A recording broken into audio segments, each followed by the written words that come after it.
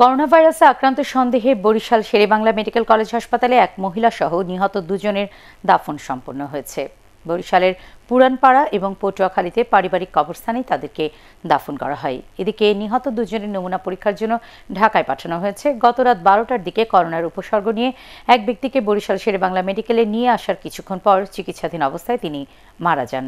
সকালে মারা যান হাসপাতালের আইসোলেশনে থাকা আরেক রোগী।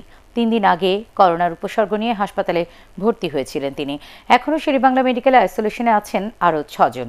বরিশাল থেকে আরও জানাচ্ছেন হুমায়ুন কবির। শেরবাংলা মেডিকেল কলেজ হাসপাতালে করোনা ওয়ার্ডে ভর্তি দুজন আজ সকালে মারা গেছে। এর একজন মহিলা, একজন পুরুষ রয়েছে। ইতিমধ্যেই যে দুজন মারা গেছে, তাদের নমুনা ঢাকায় পরীক্ষার জন্য পাঠিয়ে দেওয়া হয়েছে বলে জানিয়েছে বরিশাল শেরবাংলা মেডিকেল কলেজের পরিচালক ডাক্তার মাকির হোসেন। তিনি আরও জানিয়েছেন যে একজন পটুখাল থেকে গতকাল বিকেল পাঁচটায় ভর্তি ভর্তি হওয়ার পরে সে আজকে সকাল সাতটায় মারা গেছে। সে সর্দি কাশিতে ভুগছেন আরেকজন ছিল মহিলা যিনি বরিশাল পুরানপাড়ার তিনি মারা গেছে গত রাতে।